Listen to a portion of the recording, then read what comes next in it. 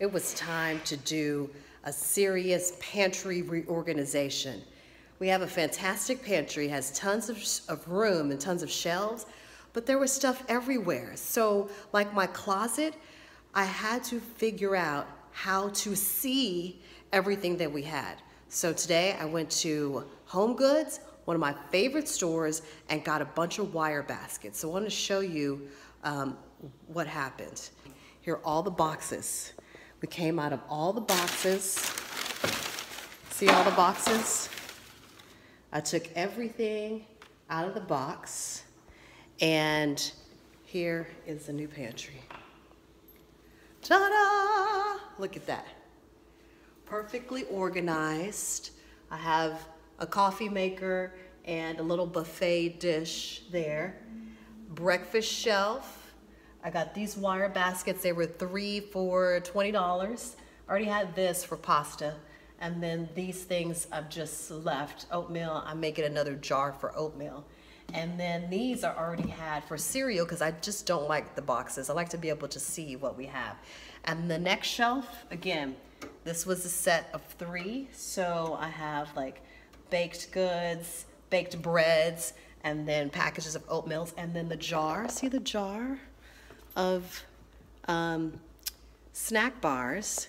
And then the next shelf is just snacks, snack basket for chips. This is another snack basket for chips and applesauce, Nutella, mac and cheese, and then granola and popcorn. And then the last shelf here for all of our seasonings here. This is the bread basket. And then I got these great jars with the copper tops. I actually switched the tops. I didn't like the tops that they came with, so I switched the tops. And it was great. I just took off one of the tops. It was like a silver top, a pewter color. I didn't want that. I got these.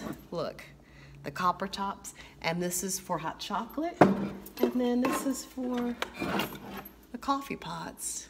See? Now you see what I mean when I said I need to be able to see everything.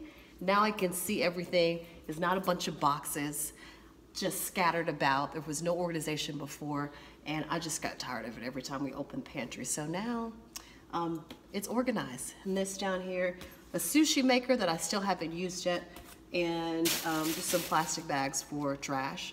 But it's all organized and it feels so good. So you can do the same thing with your pantry. It's really easy.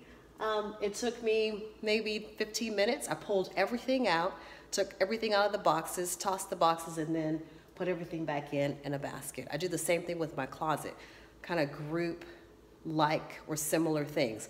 All the skirts, all the blazers, all the dresses, short dresses, long dresses, shoes, etc. Now you can see what you have.